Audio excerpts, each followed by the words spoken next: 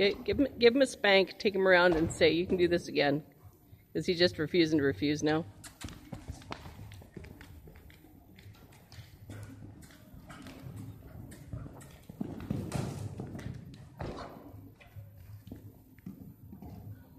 no, just take him back and lap him around. He... Just take him around, do it again, get a little more aggressive.